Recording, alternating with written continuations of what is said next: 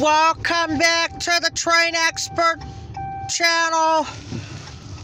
Oh, that's. We have a couple of trains coming, and they're both Norfolk Southerns. Let's check it out. There's the intermodal right there. I, I seen the engines.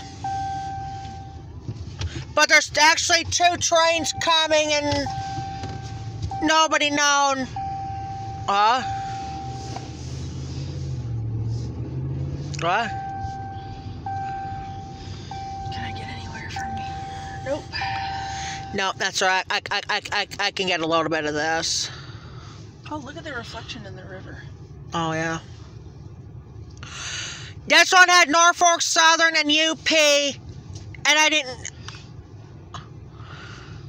Just have to shoot this. There's a giant eagle right there on the top. Seen a lot of stores today. Oh, that's a sharp. Oh, there's the end.